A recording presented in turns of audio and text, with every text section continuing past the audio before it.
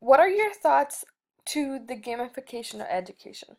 I feel that the gamification of education is very helpful for students and would be useful in the classroom and a way for a teacher to get the content area across in a fun and exciting way. Do you feel that games can be used to teach student content or are they just forms of education? I actually think they could be used as teaching content in a fun way, not just a form of entertainment. It may be a form of entertainment, but the kids may not realize that, oh, I'm learning something. So, um, what examples can you think of to use games in your future classrooms?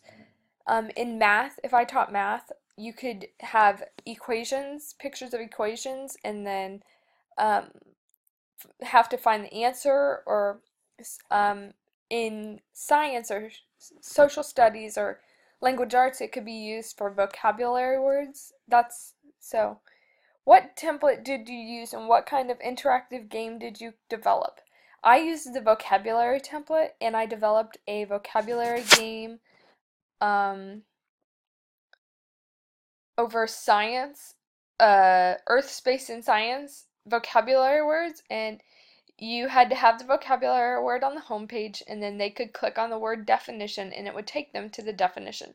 So it was very helpful, and just I thought it was a useful game and very fun to play.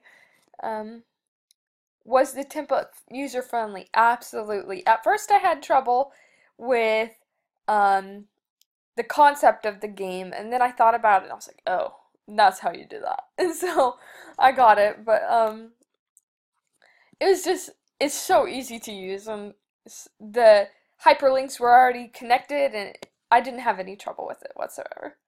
Um, what problems did I have experience? Just not getting it at first, but I I thought about it and I, I was just like, I am not doing this right. And I thought and I was like, oh, okay. it dawned on me then.